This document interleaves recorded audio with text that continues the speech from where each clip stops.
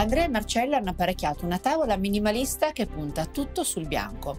C'è una tovaglia bianca molto moderna, di un bianco ghiaccio, e un servizio di piatti in porcellana bianca che è dello stesso bianco della tovaglia. C'è poi un cucchiaino, non meglio identificato se non come un cucchiaino da tè un po' lungo, troppo corto per essere da bibita, troppo lungo per essere da tè, troppo piccolo per essere da dolce ma il pezzo forte dell'apparecchiatura risiede sicuramente nel centro tavola. O qualcuno qui vuole fare una proposta di matrimonio a qualcun altro, o questo è proprio il classico centro tavola da banchetto di nozze. Insomma ragazzi, una via di mezzo tra l'agé e il non opportuno, non trovate?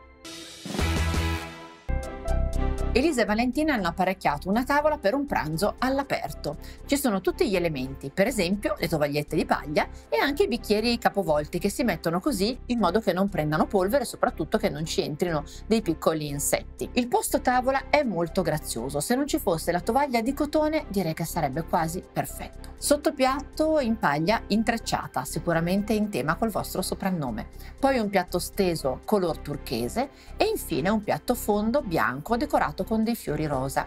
Sì, mi sono accorta, sono gli stessi colori che ci sono nelle ortensie utilizzati per il centro tavola. Molto carino il centro tavola diffuso, tanti vasetti con all'interno ortensie dal fiore piccolo, nelle nuance del lilla, del rosa e dell'azzurro. Proprio le mie preferite, giusto? E allora perché me le avete rovinate con le spighe secche?